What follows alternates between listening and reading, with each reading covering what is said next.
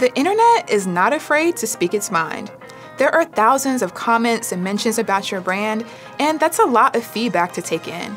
But artificial intelligence makes sentiment analysis faster and easier. Hi, I'm Jamia with Sprout. In this video, I'll explain the connection between AI and sentiment analysis. I'll also share examples of how you can use sentiment analysis to fuel business decisions. And I'll talk about how to perform sentiment analysis too. So let's get sentimental. I know y'all have seen those AI headshots and music covers, but AI also powers sentiment analysis. It uses natural language processing to understand positive, neutral, and negative commentary. There's a lot of other techie details we won't cover in this video, but AI is more accessible than ever. And chances are you've already interacted with AI, even if you haven't used ChatGPT. Many platforms have AI-backed features like social listening, which monitors thousands of opinions across networks to conduct sentiment analysis. This automation saves time and effort and provides a glance at how your customers feel so you can focus on making the right steps for your business.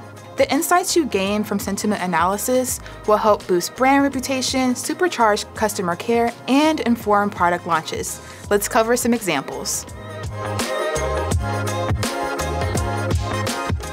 Let's say you pull a listening query about your latest product and the data shows the same FAQs.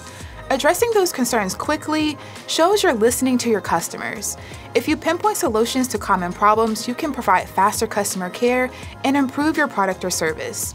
My favorite use case for sentiment analysis is competitive analysis.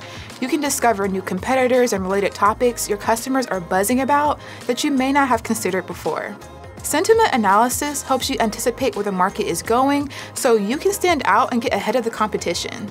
Let's get into how to conduct sentiment analysis. You'll need to review social mentions across all your networks. Separate positive and negative mentions by searching for relevant terms that highlight sentiment.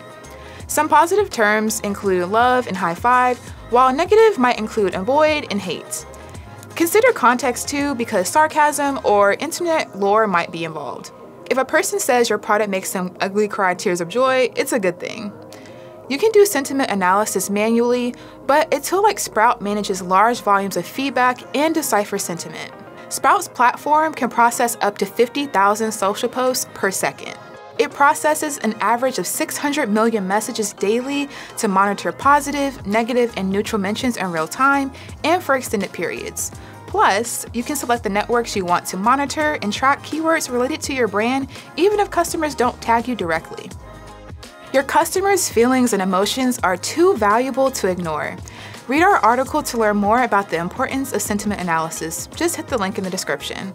If you found this video helpful, give us a thumbs up and subscribe for more. Thanks for watching and remember to never stop growing.